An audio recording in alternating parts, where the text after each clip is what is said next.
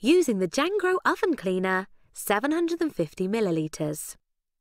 Before beginning any sort of cleaning, ensure that you put on the correct personal protective equipment required for the task. Begin by placing safety signs around the work area.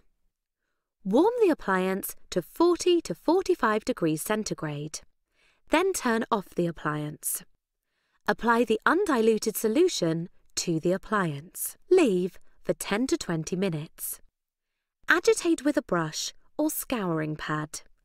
Wipe off all traces with a clean, wet cloth.